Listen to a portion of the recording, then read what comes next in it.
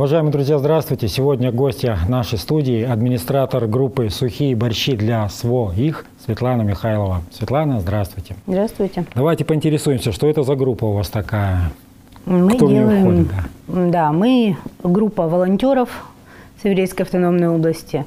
Делаем сухие борщи и супы для мальчиков, которые находятся сейчас в зоне СВО. Как эта идея возникла у вас? На эту идею я подсмотрела, честно, у девочек в Амурской области, связалась с администратором. То есть вот Оля нам помогла очень хорошо в этом плане. Мы стали эту идею развивать и готовить супы, отправлять им. Оля рецептик дала? Полностью все. Полностью всю технологию она нам рассказала. Технология, очевидно, непростая, да? Ну, расскажите нам основные такие моменты. -то. Вот есть картошка, мясо и капуста. Овощи мы все отвариваем, потом чистим, отвариваем в мундирах, чистим, а трем на терке в электросушилку. Вот они у нас сушатся до состояния чипсов, прям такое. Можно похрустеть, да? Да. А Мясо также отвариваем. На борщи, на рассольник мы на мясорубке перекручиваем. Курочку мы режем. Вермишельку также отвариваем, сушим.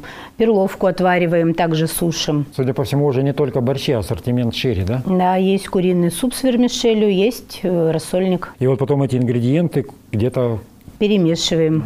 Дома я перемешиваю эти ингредиенты, да. и потом к- как-то фасуются же они. Да, прям вот в ведра, там в большие девочкам пишу, они у меня приезжают, забирают и вакуумируют. В вакуум пакетике, да? Да. И все это сохранность и долговечность гарантируется, да? Суп, да, может храниться до полгода.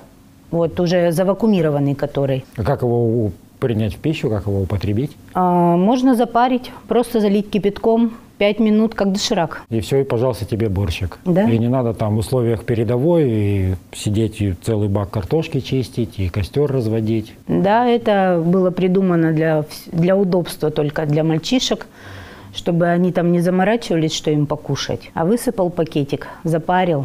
Порции мы делаем разные. Мы делаем и одну порцию, то есть вакуумируем, и до пяти порций мы вакуумируем. То есть разные. И кроме смеси там еще что-то, да, попутно идет? Ну, Добрячки.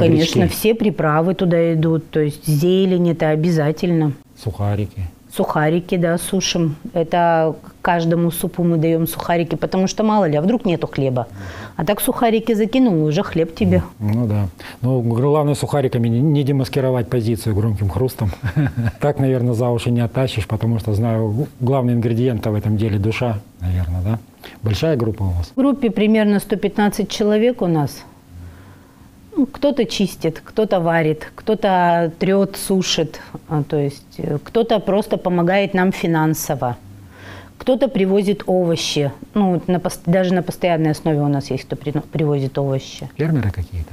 Нет, просто люди. Достают, считают нужным заняться этим, привести. Да. Не только девушки в группе. Нет, у нас мальчики есть в группе, мужчины. Картошки, куль принести. Там, ну, да, конечно, это же все тяжелое, это ж таскать надо. А, большие объемы производства.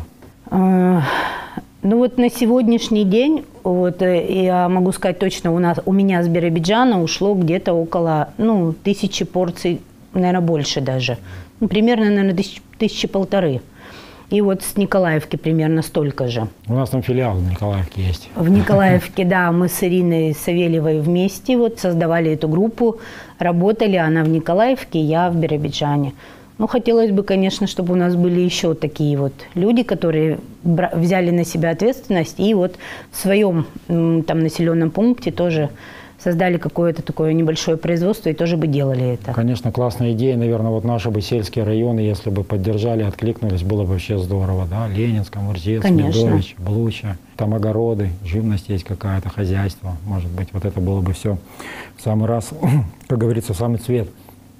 Вас что побудило этим заниматься? То, что просто мальчишки звонили и просто говорили, что кушать нечего. И добрая женская душа. Ну как я мужика голодным Ну, оставлю, конечно, как как. да? Взялась за Ему половник, за- воевать за надо, а не думать о том, что он там голодный сидит. И, наверное, в, в группе там тоже у людей много близких сейчас на передовой. У всех. Ну, У нас сейчас, я думаю, что каждая вторая семья, у которых там близкие. У всех наши близкие, у каждого. Даже если не родные, все равно они нам Да. ближе мало кто есть, чем они. Э, Отзывы от клиентов есть? Что говорят? Отзывы от мальчишек есть. Говорят огромное спасибо. Присылайте еще. Мальчишки как бы им нравится. Ну, еще бы. Это там только уникальные продукты вот от нас из и Амурской области или уже по стране движение развивается? А, Я, например, знаю, что где-то, по-моему, в Белгороде, что ли, тоже делают такие сухие борщи. Вот. А, Еще вот где-то видела, тоже собирают женщины, тоже сухие борщи. Так что ноу-хау по всей стране сейчас развивается. Это рецептура, технология. Да, вот недавно мне звонила девушка с Приморья, спрашивала, Поделились? а что это такое? Да, Можно к вам обращаться. можно. А в группу в эту вступить можно чем-то Конечно, помогать, нужно. участвовать? Как сделать Нужно. это? А как это сделать? Ну, я дам ссылку, номера телефонов, на которые можно звонить. Мы добавим в группу. То есть можно прийти по ссылке. И как-то поучаствовать, либо потрудиться, да, какую-то Да. операцию осуществить, либо помочь что-то поставить, привезти. Да, люди с электросушилками, вакууматорами. Мы прям только за. Это Кто-то, ж- может быть, с овощами может помочь, кто-то с мясом может быть помочь. Ну, все по-разному. Что самым дефицитом является? Ну, самое такое это мясо все-таки. То есть, если овощи мы можем пойти купить в магазине, а мясо, оно для покупки сильно дороговато. То есть 400 рублей килограмм это очень дорого. Ну, хотелось бы найти людей, которые смогли бы нам ну, немножко подешевле продавать. А есть предприниматели, которые помогают? Явец Владимир Самаревич нам электросушилку подарил. Да, вот, к сожалению, не помню фамилию, вот мужчина, нам тоже предприниматель с Биробиджанского района, 500 килограмм картофеля привез. То есть вот хотелось бы найти еще таких предпринимателей, которые могли бы нам мясо Будем подешевле продавать. что они найдутся обязательно, и дела будут шириться, и больше продукции пойдет туда, на передовую. А как, кстати, отправляете? Лично я отправляю по почте России. То есть адресную посылку я отправляю, вот там 5, 7, 10 коробок. Я отправляю на, именно на конкретного человека. Он получает и уже всем развозит, раздает. Может, с Аказии кто-то, да, Э, например? Кто-то, да, улетает в зону СВО. А Мы с ними передаем. Э, Кто-то у нас через ДЭК отправляет. Все по-разному. В общем, полевая почта работает, способы есть. Было бы что отправить, Главное, они просят, присылайте еще.